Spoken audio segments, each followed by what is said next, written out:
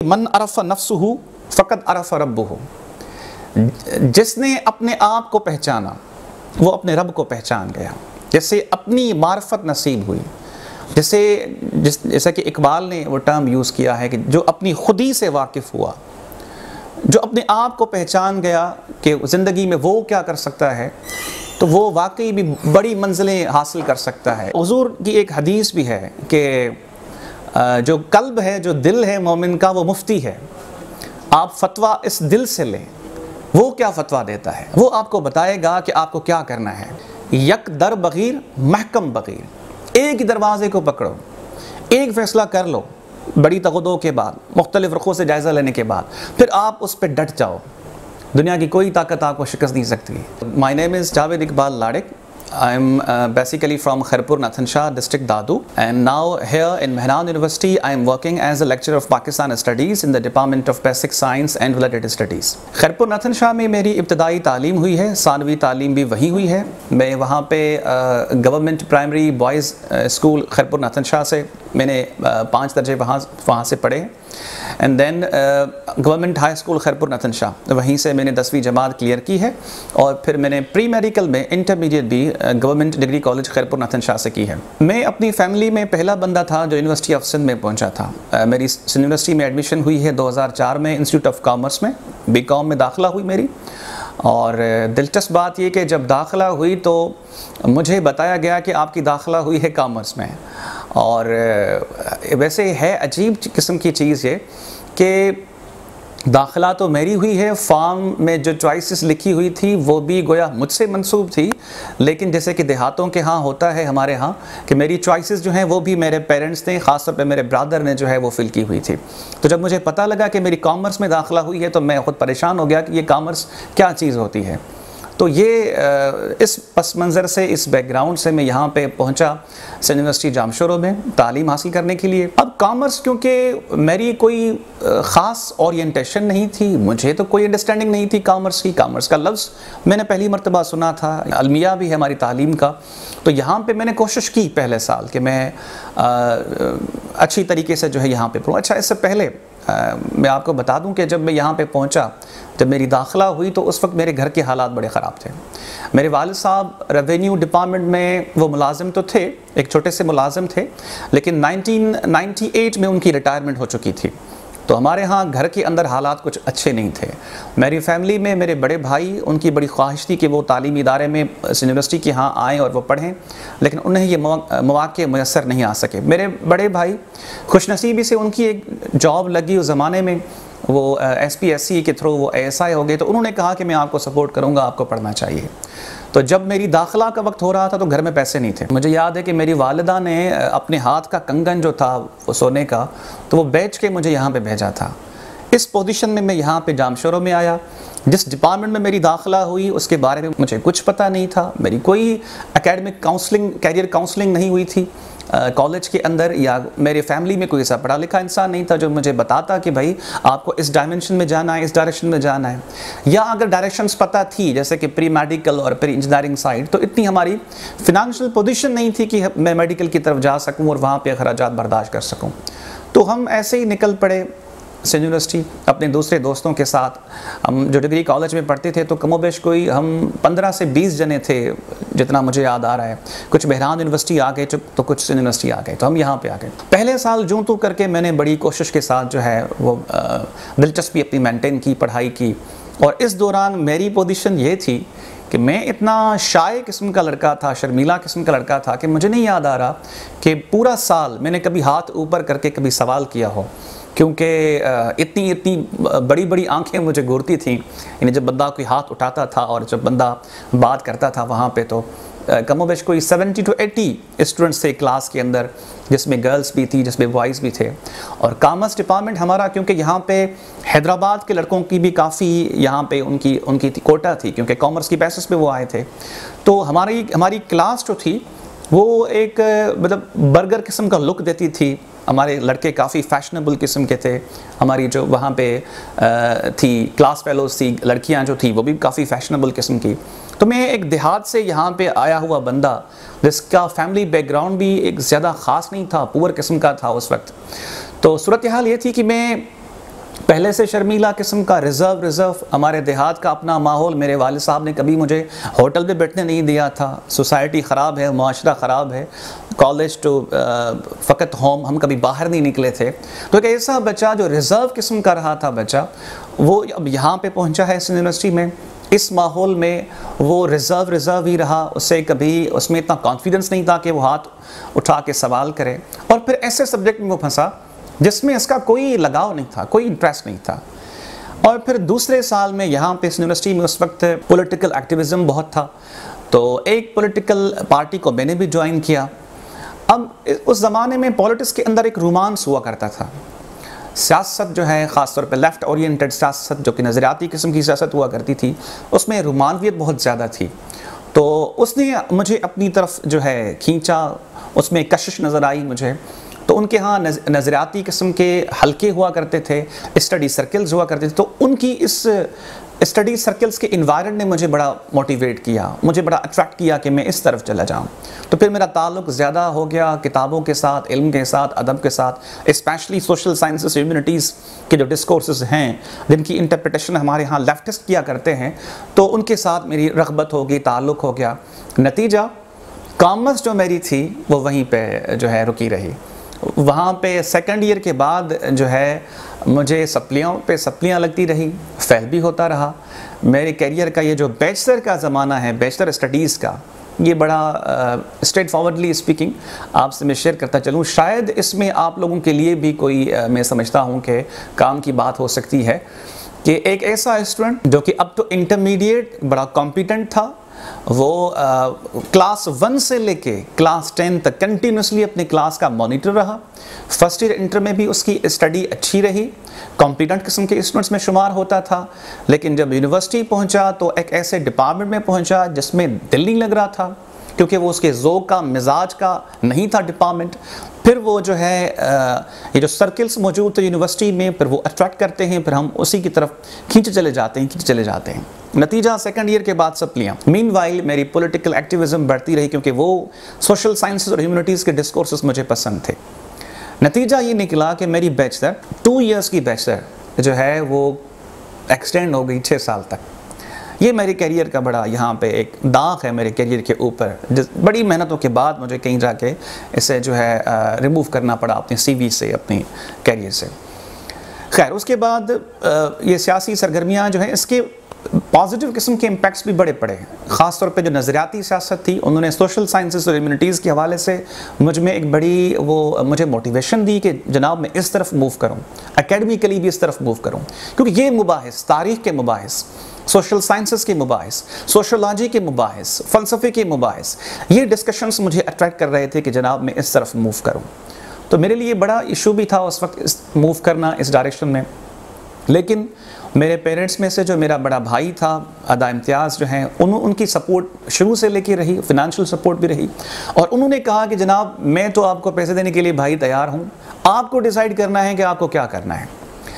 अब टू 2009 और 10 सूरत हाल ये रही कि मेरी एकेडमिकली कोई ख़ासी परफॉर्मेंस भी नहीं रही।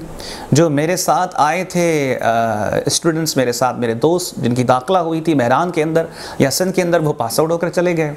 मैं यहाँ पे ठहरा हुआ था। इस दौरान मुझे एक बात याद आ रही कि मेरा एक सीनियर था टू के थ्री के बैच का था। कंप्यूटर साइंस में सिंध यूनिवर्सिटी में वो पढ़ता था। मैं मैं थोड़े अरसे के लिए उसका रूममेट भी था। तो वो यहाँ पे अब वो पास आउट करके चला गया। कुछ दिनों के बाद वो तो सऊदीया जाके पहुँच गया। दो तीन साल वहाँ पर रहने के बाद जब वापस लौटा तो मैं अभी तक यूनिवर्सिटी में था। और उस वक्त मेरी एमए चल रही थी पाकिस्तान स्टडीज़ में। तो उसने मुझे मैसेज किया। और पूछा कि लाड़क तू कहाँ है इस वक्त? तो मैंने उसे बताया कि जनाब, मैं तो यूनिवर्सिटी में मैंने अपनी शर्मिंदगी छुपाते हुए मैंने मिजाह के तौर पे उसे कहा कि जनाब आप तो यूनिवर्सिटी से बेवफाई करके चले गए हो, लेकिन मेरी वफादारी अभी तक यूनिवर्सिटी से जारी है और मैं अभी तक यूनिवर्सिटी में पढ़ रहा हूँ। तो उसने मिजाह में एक जुमला मुझे मैसेज किया, उसने कहा कि तेरी उम्र के कव्वे भी मर गए और तू अभी तक यूनिवर्सिटी में पढ़ रहा है। तो ये सूरत हाल थी कि मुझे अपने दोस्तों की से ये रिसीविंग मिल रही थी, ये तंज किस्म की ये चीज़। तो ये सूरत हाल थी, यानी फ़करे कसे जा रहे थे, तंज़ें हो रही थी, लेकिन अब यहाँ से जो है मैंने फिर अपने आप को जो है रीबिल्ड किया है। आप कहें कि मैंने ज़ीरो से यहाँ से शुरुआत की है। मैंने यहाँ पर डिसीशन लिया कि जनाब, अब क्या करना चाहिए? एक दो सप्ली वगैरह वगैरह थी ये माहौल मैंने जो है एक कॉम्पिटेंट स्टूडेंट रहा था अब तो इंटरमीडिएट तो मेरे लिए अब इशू था कि मुझे कह रहे थे कि भाई टीचर्स को जाके मिनत समाजत करें आप आपका मसला हल हो जाएगा। ये मेरे लिए थोड़ा दुशवार था। मैंने मिन्नत समाजत नहीं की। हाँ आखिर में जब सूरत हाल गंभीर होगी तो मेरे ब्रादर ने उससे वो समझ गया कि ये नहीं करेंगे। तो उसने कहीं जाके आ, कुछ अपने दोस्तों को कहा ये बी कॉम मेरी जू की तू हो गई। यहाँ पे मैंने अपने आप से पूछा सूफ़ी यहाँ पे एक बड़ा ज़बरदस्त किस्म का सूफ़ियों का एक है कॉल है। वो अपने कॉन्टेक्स्ट में कहते हैं कि मन अरफ़ नफ्स हो फ़कत अरफ़ रब हो जिसने अपने आप को पहचाना, वो अपने रब को पहचान गया। जैसे अपनी मार्फत नसीब हुई। जैसे, जिस, जैसा कि इकबाल ने वो टर्म यूज़ किया है कि जो अपनी खुदी से वाकिफ़ हुआ, जो अपने आप को पहचान गया कि ज़िंदगी में वो क्या कर सकता है तो वो वाकई भी बड़ी मंजिलें हासिल कर सकता है। इवन सूफ़ी को तो खुदा भी मिल जाता है इस कॉन्टेक्स्ट में। या जैसे कि जमाल अब्दुल नासिर ने एक बड़ा ज़बरदस्त किस्म का जुमला कहा था। उसे कहा था कि इस कायनात के अंदर, इस दुनिया के अंदर अजीम और लाजवाल रूहें हैं जो यहाँ पे गर्दिश कर रही हैं। अजीम किरदारों की रूहें हैं। वो बेचैन किस्म की रूहें हैं। वो चाहती हैं कि कोई बंदा आए उनको, उन किरदारों को वेलकम करे, उन रूहों को वेलकम करे कि वो उनके अंदर दाखिल हो जाएँ और फिर वो किरदार अदा करें। तो हमें अपना, अपने किरदार का तयन करना चाहिए। तो यहाँ पे इस स्टेज पे मैंने सोचा कि मैं कौन सा किरदार अदा कर सकता हूँ। एक्टिविज़म तो पहले से अंदर मेरे, अंदर थी कि कुछ ना कुछ सोसाइटी के लिए बंदा करे। तो मैंने ये समझा, ये जो सियासत का थोड़ा सा अरसा था एक्टिविज़म का, मैंने समझा कि शायद ये बड़ी दाव पेच की है सियासत। इसके अंदर जो ऑर्गेनाइजेशनल वे है, उसमें मुझ मुझ जैसे जो सीधे साधे शख्स हैं, शायद वो सरवाइव न कर सकें। तो मैंने फील किया कि अब वहाँ पे तो शायद मैं वापस ना जा सकूँ, लेकिन अब मैं एक और काम कर सकता हूँ, अपने वतन के लिए, अपनी कौम के लिए, अपने नौजवानों के लिए, इस समाज के लिए। वो ये है कि मैं टीचर के तौर पे परफॉर्म करूँ। एक टीचर बन जाऊँ और फिर मैं अपने वतन के नौजवानों को, अपने ये जो मेरी कौम का आइंदा है। इस पर थोड़ा बहुत मैं अगर मैं काम कर सकूँ, उनकी कोई फ़िक्री और जहनी तरबियत कर सकूँ, अगर मैं उनकी कोई काउंसलिंग कर सकूँ, ये इनपुट मैं दे सकता हूँ सोसाइटी के अंदर और मैं समझता हूँ कि मैं अच्छा टीचर बन सकता हूँ।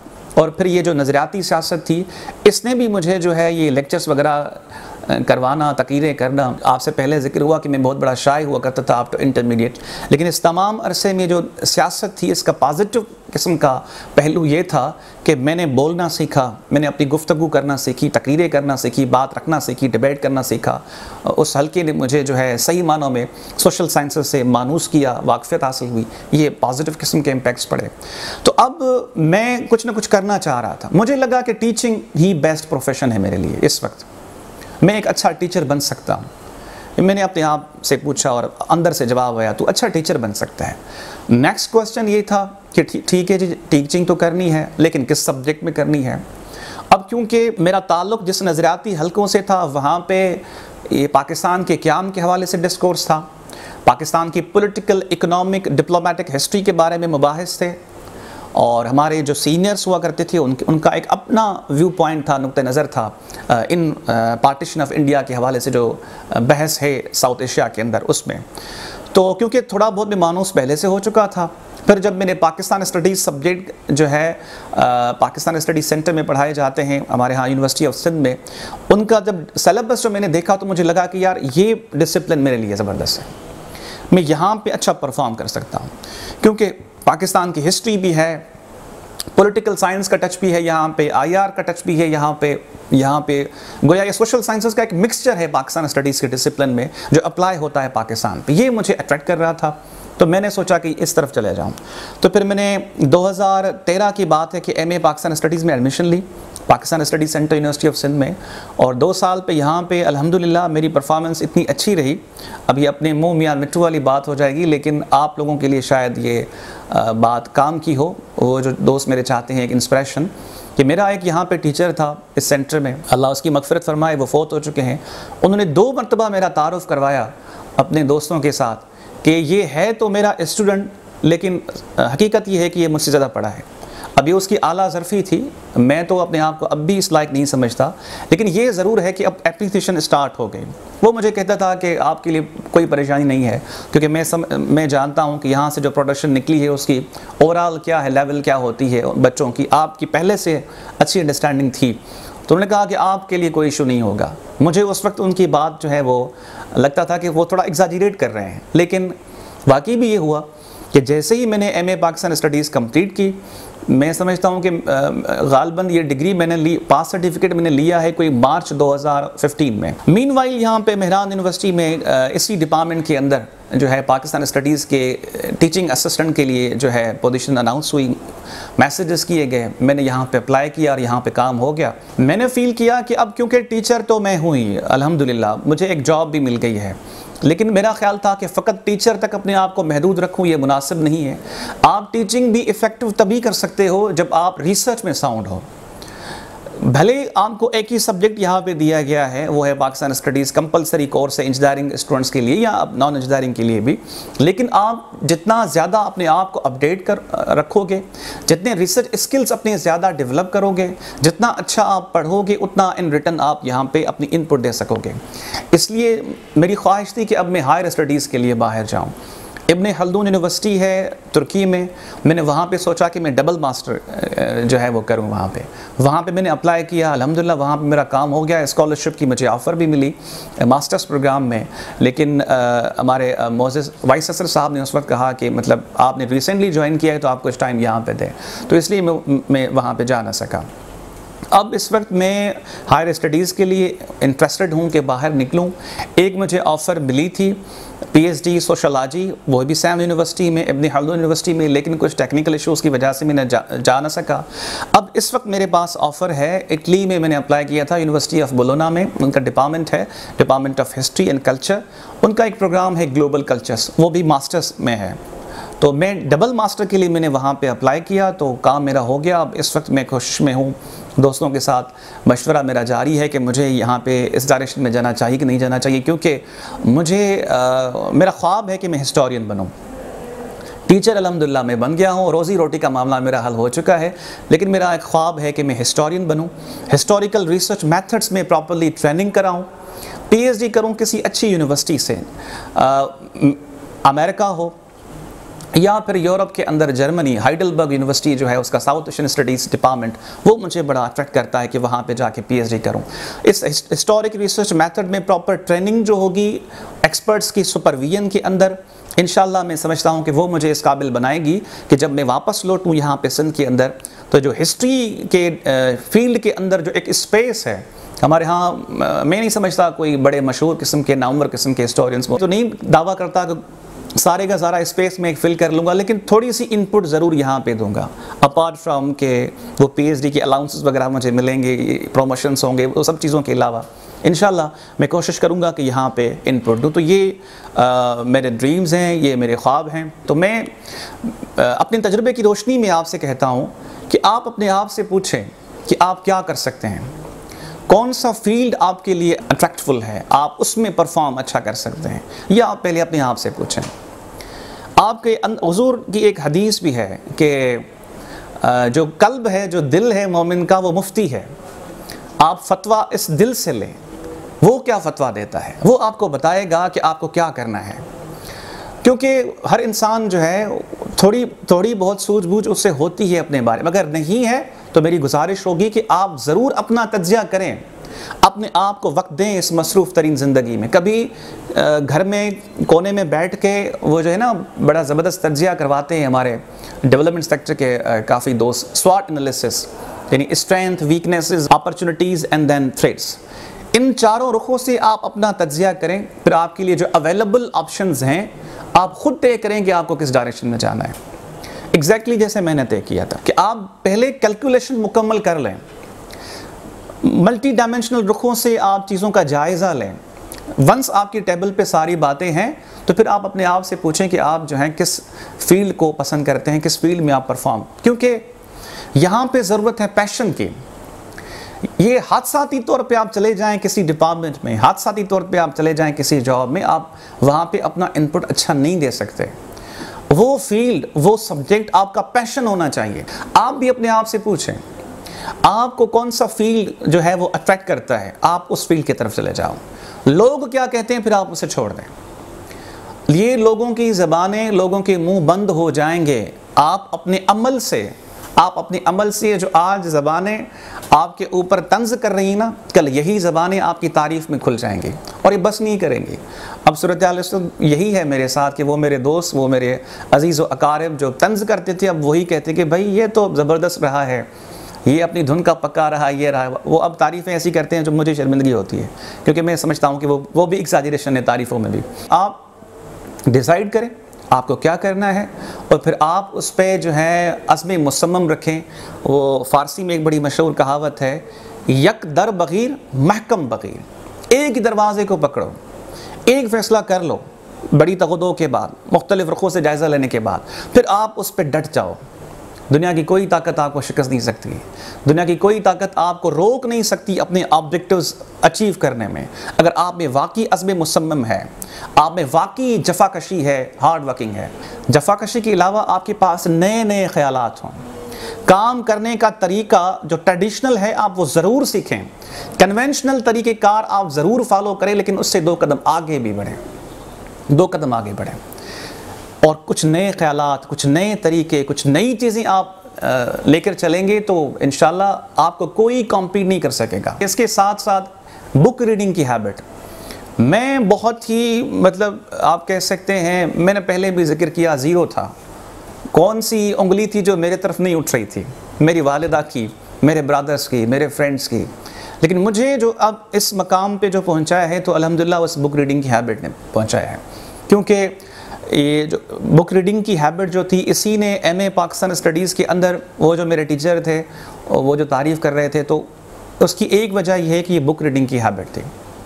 अब यहाँ पे यूनिवर्सिटी में हूँ टीचर के तौर पे तो अल्हम्दुलिल्लाह मैं कोई ज़्यादा क्लेम तो नहीं करता, लेकिन थोड़ी बहुत मैं समझता हूँ कि अगर अंडरस्टैंडिंग नस्बता बेहतर है, या थोड़ी बहुत सूझबूझ है, थोड़ी बहुत फ़िक्री तौर पे एक तरोताज़गी है थोड़ी बहुत इंटेलेक्चुअल डेवलपमेंट है तो बुक्स की वजह से है। बुक्स आप पढ़ेंगे बुक्स आपको इंस्पायर करेंगे। बुक्स में आप एक नए जहान से मुतारफ़ होंगे। एक नया जहान जो आपको ज़मीन से उठा के आसमान तक पहुंचाएगा। इंस्पायर करें, करेंगे ये बुक्स में मौजूद कहानियाँ। बुक्स में मौजूद लेजेंडरी किस्म के करेक्टर्स बुक्स में मौजूद आपको हीरोज़ जब आप उनसे आशनाई करेंगे, जब आप उनसे दुआ सलाम बढ़ाएँगे, जब आप उनसे रवाबित बढ़ाएँगे तो वो आपको इनक्रेज करेंगे। ज़िंदगी में ठोकर भी लगती है। बार बार इंसान गिरता है। ये बुक्स बताएँगे कि फ़लाँ फ़लाँ आदमी भी आप ही की तरह गिरे थे, लेकिन उनके बाद उन्होंने नए जज्बे के साथ, नए जोश के साथ, नए वलवले के साथ वो उठे और नए नए, नई राहें तलाश करने की जो है वो कोशिश में वो आगे बढ़े और फिर वाकई भी तकदीर ने, खुदा ने या तारीख ने उनके लिए नई अपॉर्चुनिटीज़ क्रिएट की। कोशिश करें अपनी वर्बल कम्युनिकेशन स्किल्स ये बड़े इंपॉर्टेंट हैं आपके करियर के लिए। चाहे आप टीचिंग में चले जाएँ, चाहे आप प्राइवेट सेक्टर में चले जाएँ पब्लिक सेक्टर में चले जाएँ, जहाँ भी जाएँ, हमारे यहाँ सिंधी में बड़ी मशहूर कहावत है कि ये जो ज़बाँ है, ये आदमी को धूप पे भी बिठाती है, छाँव पे भी बिठाती है। जितना हो सके अपने यहाँ वर्बल कम्युनिकेशन स्किल्स डेवलप करें। आप अपना मकाम ख़ुद बनाएँगे। इदारों के अंदर, मुख्तलिफ़ मकाम पर स्टडी में, आगे इवन इंटरव्यूज़ के अंदर। काफ़ी जगह पर ये इशू होता है। मेरे देहात से जो यहाँ पर आते हैं, बच्चे पढ़ने के लिए, उनके साथ इशू ये होता है कि जब वो डिग्री हाथ में लेके जाते हैं इंटरव्यू के लिए वहाँ पे वो प्रॉपरली कम्युनिकेट नहीं कर पाते। या तो उर्दू का इशू होता है या कोई दूसरा इशू होता है या बहुत दबे दबे से होते हैं बेचारे। अपनी गुफ्तु विद कॉन्फिडेंस कर नहीं पाते। कोशिश करें वर्बल कम्युनिकेशन स्किल्स जितनी आप अच्छे कर सकते हैं वो आप ज़रूर करें। इसके भी, ये भी एक आर्ट है। ये आर्ट ज़रूर सीखना चाहिए। आपके करियर के लिए अच्छा है। आपकी बहुत मेहरबानी। शुक्रिया आपका।